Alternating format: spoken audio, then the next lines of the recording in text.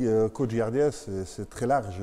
Donc d'abord, ben, comme tout entraîneur, euh, tout coach, c'est d'abord mettre les, gars en condition. Euh, bon, gardien, c'est spécifique, donc ça demande énormément d'entraînement et énormément de technique. Donc moi, bon, je base beaucoup, aujourd'hui évidemment tu ne l'as pas vu, mais je base beaucoup mes entraînements sur situation de match. Évidemment, bon, on a évidemment, il faut travailler la technique pure, donc ça, ça c'est des entraînements aussi. Mais moi, j'accentue beaucoup sur la situation de match parce que le gardien, évidemment, en match n'est pas souvent très sollicité. Donc, euh, les entraînements doivent compenser le manque de travail en match. Donc, euh, ça a toujours été mon, mon principe et je continuerai toujours ainsi.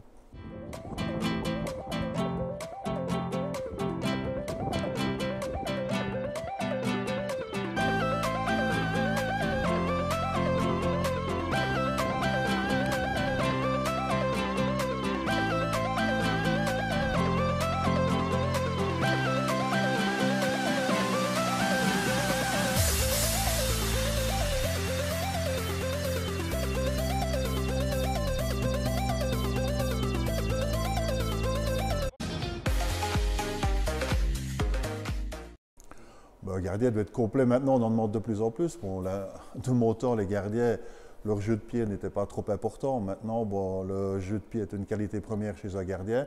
Mais je dis toujours, moi, la qualité première pour mes gardiens, c'est d'arrêter les ballons. Donc euh, évidemment, il faut un beau jeu de pied parce que les entraîneurs le demandent. Mais un gardien doit être explosif, doit avoir euh, une bonne détente, euh, d'avoir une très bonne vivacité. On prend souvent le cas de Courtois. Pourquoi? Est-ce que Courtois va si vite sur les ballons au sol parce qu'il est très vivace, pardon, vivace. Son niveau, son déplacement latéral est très vite. Ça, c'est des entraînements, entraînements, entraînements, entraînements. Et puis, bon, euh, les gens disent toujours que pour être gardien, il ne faut pas avoir peur, il ne faut pas être très, très malin. Mais justement, il faut être très réfléchi. Parce que, bon, on a beaucoup, beaucoup de situations qui demandent euh, énormément de réflexion. Et là, bon, je pense que. Mais le gardien doit être un athlète complet.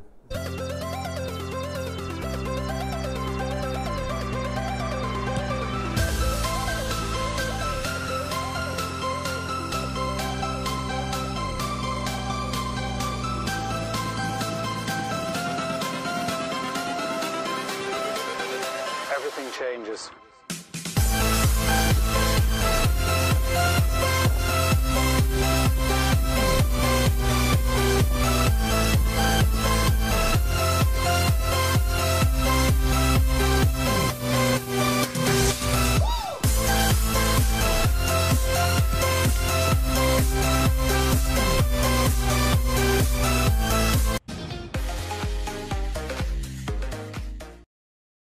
j'ai toujours, moi, euh, privilégié une relation de copain. Donc moi, mes gardiens, ils ne m'appellent pas Pierre, ils m'appellent pas coach, ils m'appellent Pierre. D'office, je dis toujours, bon, moi, ok, je suis votre confident le jour où il y a un problème, que ce soit sur le terrain, en famille, il faut me le dire, parce que ça se répercute souvent sur leur jeu. Et, mais moi, je, suis là pour justement les écouter, pour les former. Voilà, je prends le cas de Kevin, il est arrivé avec moi, bon, je l'avais eu qu'il était jeune, il est arrivé avec moi qu'il avait 29 ans. Il a il continue à progresser, il a encore une marge de progression. Et comme je lui ai dit il n'y a pas très longtemps, si on avait travaillé tout le temps ensemble, je pense que tu aurais pu compenser certains trucs qu'on ne lui a pas fait euh, travailler euh, pendant toute sa carrière.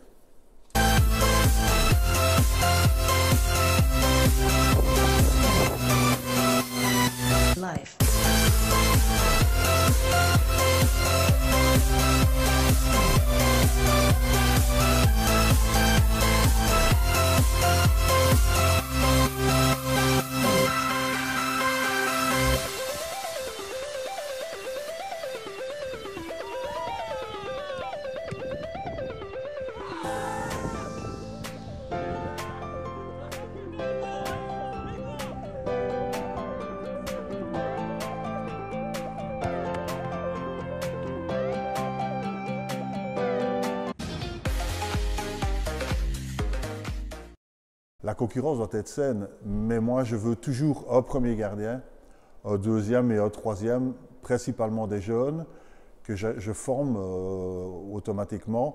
Bon, évidemment, nous, on joue en DA amateur. Le DAB, DAB pardon, et DAA demandent d'avoir des gardiens presque de même qualité, mais il faut toujours que le numéro 1 soit considéré comme numéro 1.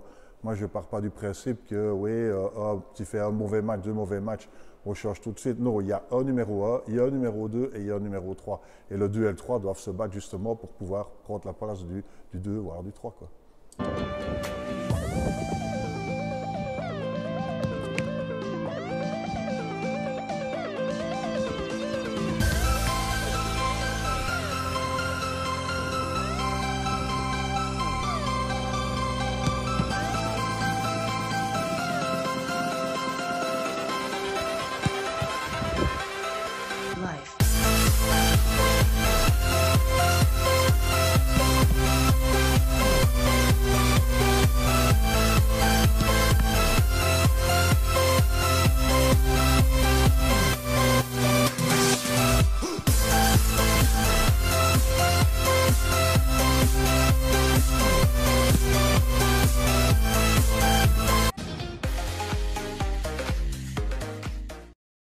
Ah, ici, on est en dé amateur, donc on s'entraîne en règle générale cinq fois. Donc le lundi, euh, souvent, je les prends une demi-heure et puis alors il faut des, jeux avec les joueurs qui n'ont pas joué le, jour avant. Si on a joué le dimanche, souvent le mardi c'est congé. Mercredi, bon là c'est un entraînement assez physique. Jeudi, vendredi, samedi, bon demain évidemment on joue samedi, considérant qu'aujourd'hui c'est un dernier entraînement, je fais toujours, toujours, toujours la même chose à l'entraînement le jour avant le match, je suis superstitieux. Le jour du match, l'échauffement est toujours la même chose aussi. Mais bon, comme je dis, voilà, le mercredi c'est un entraînement physique, technique. Et puis alors jeudi, vendredi, samedi, ce sont des entraînements uniquement basés sur euh, situation de match.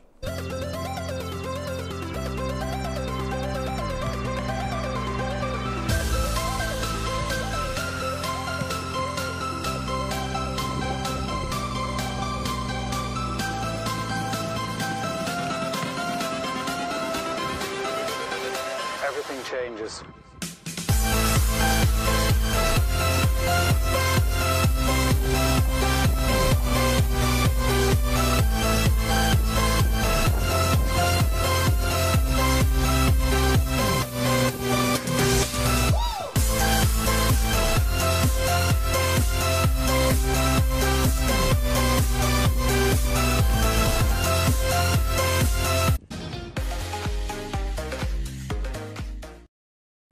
Je prends note de toutes les phases qui sont euh, principalement basées sur le gardien, sur la défense. Donc je regarde les corners, on en discute pendant la semaine avec l'entraîneur, ce qui a été, ce qui n'a pas été, parce que bon, évidemment au deuxième tour on rencontre la même équipe.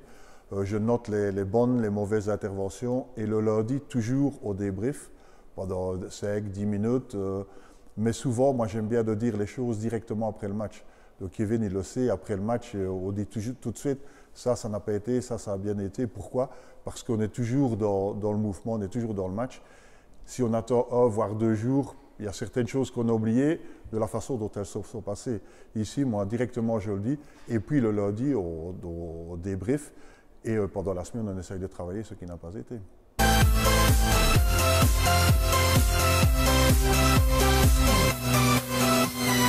life.